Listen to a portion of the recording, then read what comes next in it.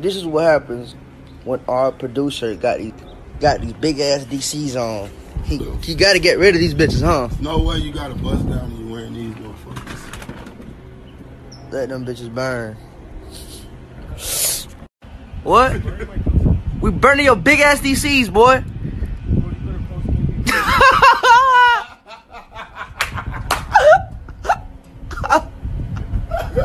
Love you size left, aren't you? Yeah, it's over for them DCs, CB. It's over. Let them bitches burn.